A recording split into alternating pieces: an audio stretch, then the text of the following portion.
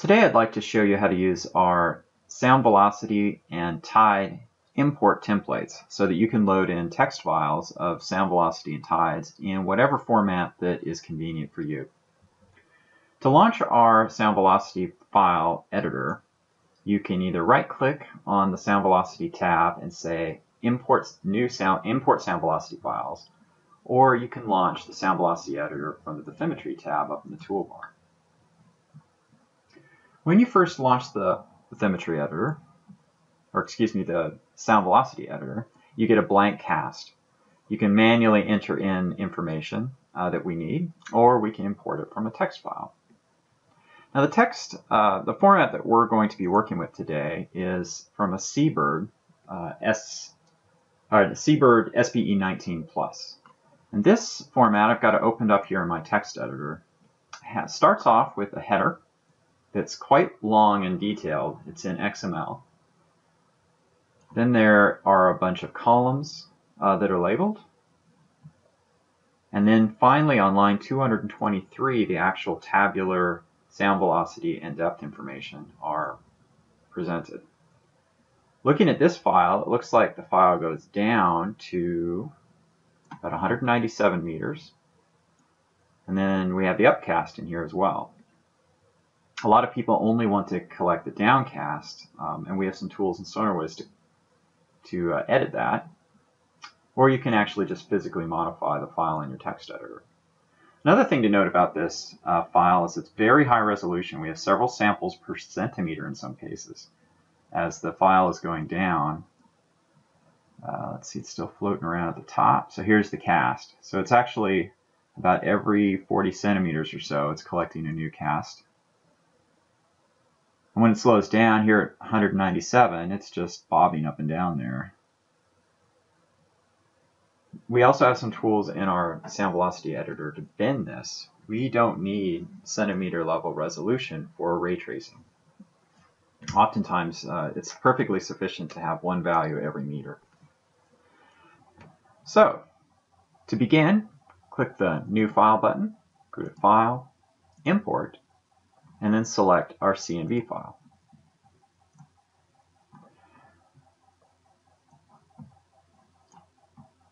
Initially, it'll open up with a preview on the left, preview of the file we were just looking at in our text editor, and on the right we have a list of predefined templates. By default, SonarWiz is only set up with three defined templates. There's a text file, a CSV format, and a log and velocity format, but no CNV format. So we're going to need to make one up. But it's actually pretty easy to do. So we'll start with create a new template. And the editor switches over to the manage templates. We're going to create a name. And we'll call this the CNV format. Seabird CTD format. Now we know from looking at our text editor here that the data doesn't actually start until deep into the file. Right here on line, line 222 is the end of the header, and then on line 223 is when the table starts. So we've got 222 header lines. What, as soon as you start entering information into your template, the preview updates to show you what you've done. It's really handy. So when we added the 222 header lines here, it blanked out in gray what the example template would say is all header lines. And notice it doesn't actually start the columns until right when we wanted it. So you can go up and down and see how this is fine-tune where the header is. So now we need to add a column for the sound velocity. So we'll click under fields, we'll say plus and the first one is going to be velocity, and then click OK. Now, it looks like it took too much information. It highlighted everything in blue here, and we only wanted it to highlight that first column. So we can click under the field and click the Edit button, and it opens back up again so we can make a change. And see the field type is right, it's velocity, but it didn't get the delimiter right. There's no commas in here. In fact, what we've got is sequence of spaces. So we'll use that. Now we click OK. Now the column looks right. So it's highlighted the column in blue, and the delimiter, the thing that separates the columns, is in red. So now we need to add the depth column. Click the plus, field settings dialog shows up, depth, again it's a sequence of space, and click OK. Since we're not interested in any of the remaining columns, we'll just skip that, and we're just going to leave it those two. There's a couple other things I want to change. If we go to additional options here, we have both a down and an upcast. And it looks like the downcast goes to about 197 meters. So we'll say accept only the downcast, only the first 197 meters. The other thing I think is worth doing is binning the sound velocity profile. And this will reduce the volume of information in the cast. What I see here is a very high resolution cast, which is usually not, not necessary for a deep water tracing. We can say just do one meters. We'll have a sample every one meter. And what it, SonarWiz will do is bin up all the values that fall within a meter and give you the median value. So click import. So we're just going to get the downcast to 197 meters and we're going to bin it every one meter. And we click import. So our cast now is populated. We've got the nice sound velocity curve plot up here at the top. We've got what looks like 180 samples. That's far different than the actual cast, which had 3,509 samples down to the bottom, less the 200 header lines. So that looks good. So we need to give it a name. We'll call this SVP. Uh, look back here in our text file, see when was this cast made. It looks like it was July 18th, 2014. So we'll say 2014 07.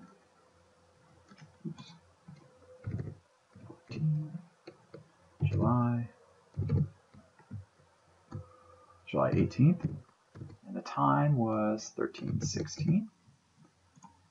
I enter it down here. This tells, this actually tells SonarWiz July 1316. And do we know the location? If we know the position of the cast, we can type that in as well, but I don't see that here. I don't see it. If you have the position, you can type it in as a latitude or longitude. In fact, uh, the exact format for uh, how the latitude and longitude are entered is in the settings dialog, whatever's convenient. So now that we've got our cast, we've got a time, that's critical to have the time in there. Notice that it tells you in the description where what file you imported it from. Now we click uh, Save, and it will save it in SonarWiz's XML format. Now the next time we want to load a CNV file, let's start a new one, click New, File, Import. Now this happens to be the same CNV, but if we open it, we'll notice that SonarWiz has saved our template.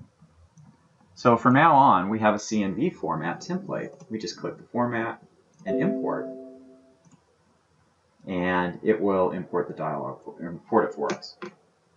So that's how you use the sound velocity editor templates. And it's almost exactly the same for a tides. So let me show you a tide. So we'll close this. Again, we click on tides, edit, and import tides. All right, so we go to New, File, Import. By default, it looks for HYPACK TDX files, but we can have it look for everything.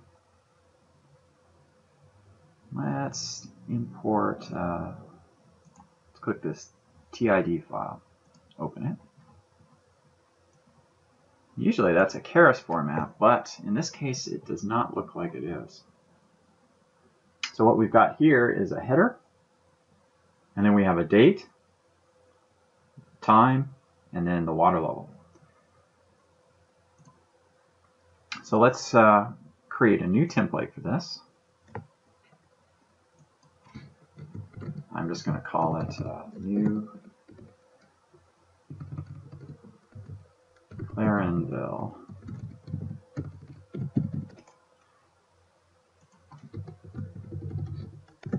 Format. How many header lines? Have 10. So I'll use the up arrow here. I'm looking at the preview screen, so now we've got it. It's got 24 header lines. Click plus under the fields.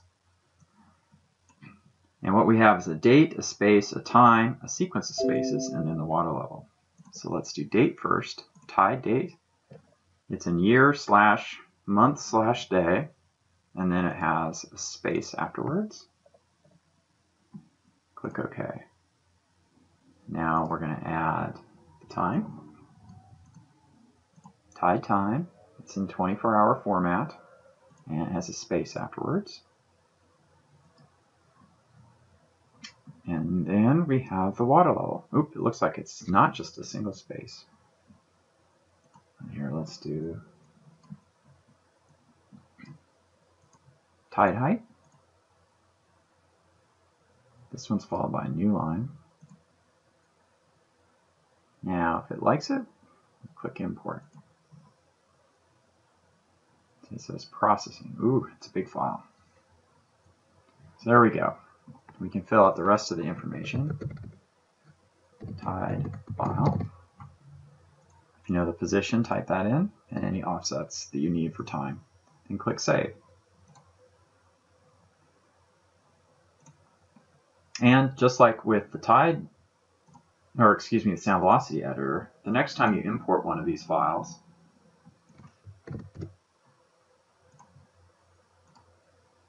SonarWiz will remember the template that you saved.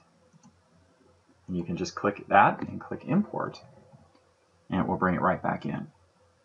So that's how you do our tide and import, or tide and sound velocity import editors. So now we have a tide file, so right click there, add an existing file. Here's our tide file that we just saved. And our sound velocity file that we just created. Right there. So that's how you do it.